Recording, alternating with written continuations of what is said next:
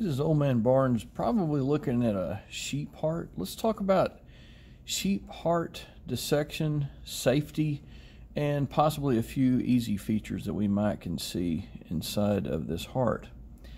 Probably the first thing I'm going to do when I look at this heart is try to determine where is the front and where is the back. The atria are dead giveaways. There's the left and the right atrium.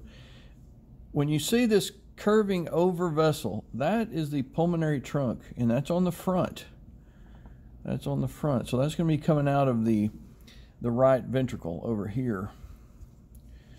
Notice when we look around back that you see lots of vessels coming out. This is the base, apex, anterior interventricular artery, anterior descending artery, most likely separating the left ventricle from the right ventricle.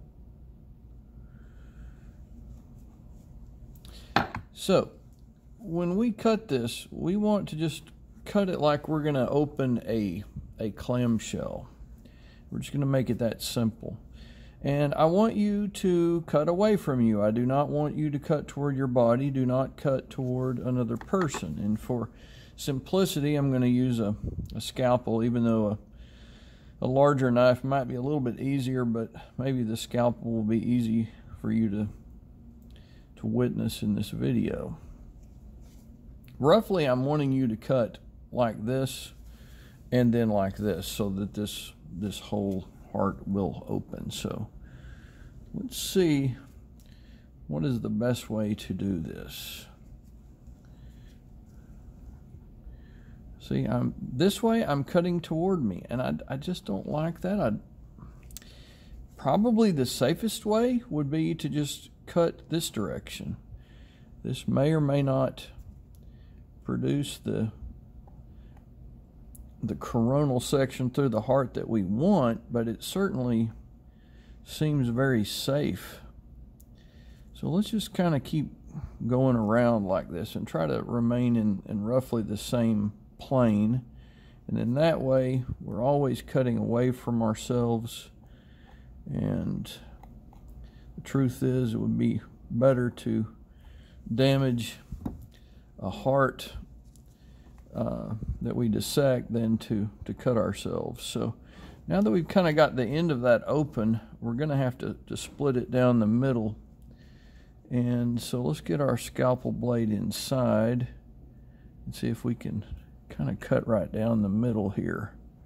See what happens. So far, so good. I, I have successfully cut away from my body the whole time. I like that. Lovely, lovely. And we have definitely split this open just like I wanted. And this is a pretty nice specimen. Again, here's the anterior aspect of the heart. Notice that the left ventricle is much thicker than the right. This is very well seen. Look at these big, huge papillary muscles right here. The chordae tendineae are anchored, anchored down. And so if we have the left ventricle, this would be the bicuspid or mitral valve. Hmm, okay, there are some of the pectinate muscles up in the atrium there. Notice that's the atrium. That would be the left atrium interventricular septum, apex. This would be the right ventricle. So whatever valve is in the right ventricle would be the tricuspid valve. And let's see what happens when we go through this pulmonary trunk and follow this. We're going to just gently kind of push this through. We're not trying to to poke a hole. Okay, I can feel it coming through. There we go.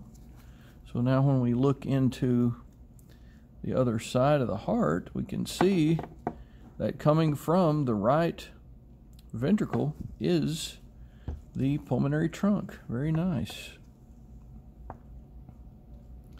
This sure looks like the aortic valve right here coming out of the left ventricle, doesn't it? Let's kind of take a look at that. Where does that come up through an exit? Okay, then that's possibly an aorta. Ascending aorta. Sure looks like it.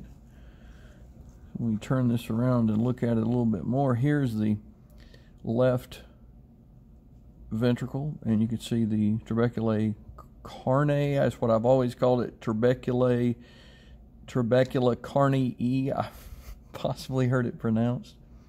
When we come out of the left ventricle, there is a passage right out of here. This appears to be the aorta. So there you go. So we have, uh, well, how does that go? I came out a different aperture, didn't I? Okay, aorta. Aorta. Okay. Those are both ascending.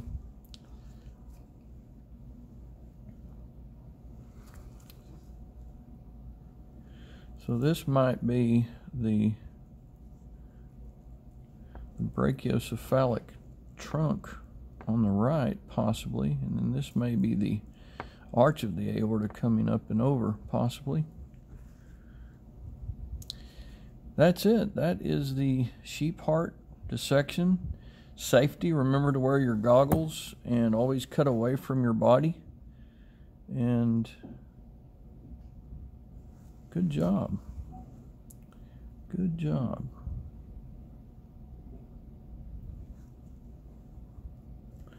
Buen trabajo.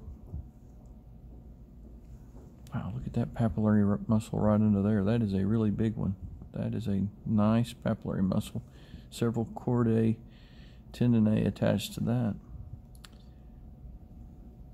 Bicuspid or mitral valve on the left side.